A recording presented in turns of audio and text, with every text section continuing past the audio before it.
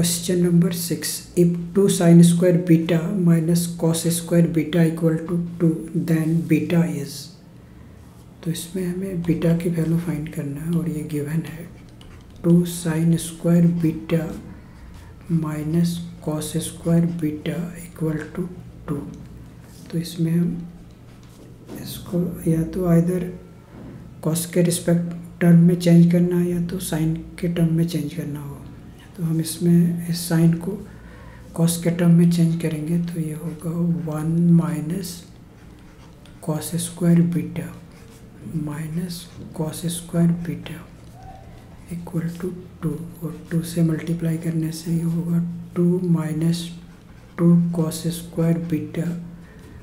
minus cos square beta equal to two इस two को right hand side ले जाएँगे और इन दोनों को ऐड करने से ये होगा minus three cos square beta equal to two minus two equal to zero so cos square beta equal to zero so cos beta equal to zero cos beta equal to और zero cos ninety degree की value होती है. So beta equal to ninety degree answer. So option B is the correct answer.